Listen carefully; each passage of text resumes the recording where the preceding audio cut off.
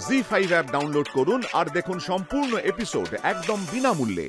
ও মিঠাইকে নিয়ে মাতামাতি শুরু হয়ে গেছে উৎসব শুরু হয়ে গেছে। আসলে এই বাড়িতে যারা আনডিজার্ভিং যাদের কোনো যোগ্যতাই নেই তাদেরকে নিয়ে বেশি মাতামাতিটা হয়। মানে?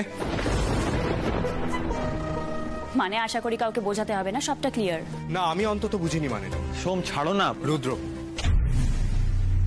টাইব্রেকার রাউন্ডে মিঠাই সবার সামনে অন্যরকম সন্দেশ তৈরি করে দেখিয়ে দিল। কোথায়? তুমি তো অন্যরকম সন্দেশ তৈরি করতে পারলে না।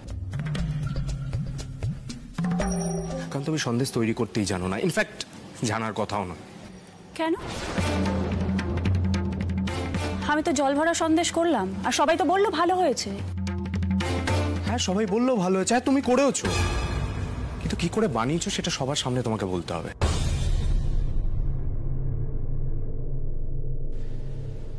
কাল মাঝরাতে তুমি ল্যাপটপ নিয়ে বসেছিলে। আর কাল মাঝরাতে ভাই আর মিঠাই হেলদি জলভরা সন্দেশ তৈরি করতে রান্নাঘরে এসেছি তাই না তোষা? এই এই দুটোর মধ্যে কি কোনো সম্পর্ক নেই এইটাই বলতে চাইছো তো তুমি? তুমি কি বলতে চাইছো সোম? আমি মিঠাই রানীর ওয়ার্ল্ড ফেমাস জলভরা সন্দেশের রেসিপিটা কপি করেছি। সোম, তোষা রয় একজন টপ কর্পোরেট একটা টপ ম্যানেজমেন্ট ইনস্টিটিউট থেকেও পাস আউট করেছে। সে একটা অশিক্ষিত ময়রা রেসিপি কেন কপি করতে যাবে?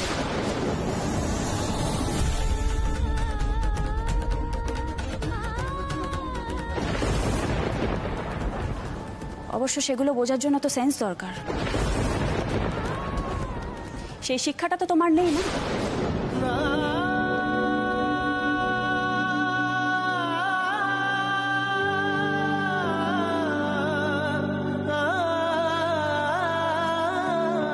তো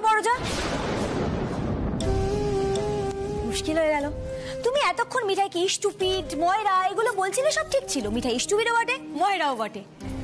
কিন্তু তুমি বর্দার থেকে আঙুল তুলে স্টুপিড বললে।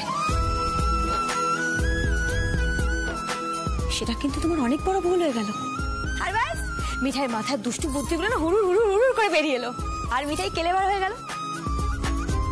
এবার বলো তো বড়জা কাল রাতে যখন উচ্ছে বাবু আর আমি রেসিপি তৈরি করছিলাম তখন তুমি এখানেই ছিলে না? আমরা একটা শব্দ শুনতে পেয়েছিলাম। ওটা তুমি ছিলে? বলো বলো বলো বলো তুমি ছিলে না? দেখো গোপাল কিন্তু মিঠাইয়ের সাথে সব সময় থাকে। তুমি কিন্তু মিথ্যে বলতে পারবে না। বলো বলো যা বলো বলো, দাঁড়াও মিঠাই। তুমি কম্পিটিশনটা জিতেছো বলে কি ভাবছ হাওয়ায় উঠছো? না দিদিমণি। মিঠাই ওড়ে না। মানে ফেলাই করে না। জি ফাইভের সম্পূর্ণ পর্বগুলি বিনামূল্যে দেখুন। এখনই অ্যাপটি ডাউনলোড করুন।